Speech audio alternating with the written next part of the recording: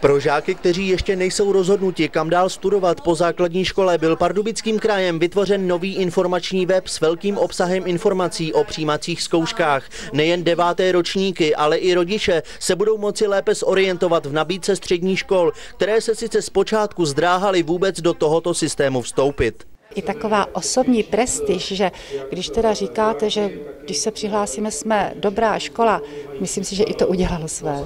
Spuštěna byla i speciální infolinka, na které budou odborní pracovníci odpovídat na veškeré dotazy týkající se přijímacích zkoušek na středních školách v Pardubickém kraji. Rodiče, eh, kteří třeba nemají k dispozici počítač, tak využijí infolinku a dostanou opravdu konkrétní, podrobné informace, protože ty nemůžete vysvětlit případně ani na tom chatu, když se, když se, eh, když se podávají písemně.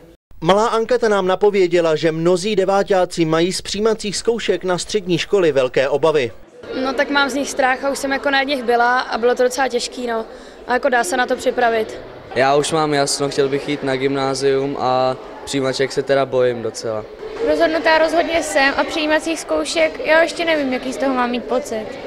Trošku, trošku obavy. Strach z přijímaček je víceméně strach jako z každý jiný písemky, až na to, že je to velký krok do života. V rámci změn v oblasti školství byla sloučena střední škola potravinářská se střední školou a odborným učilištěm Poděbradská, a to hlavně z důvodů příbuzností oborů.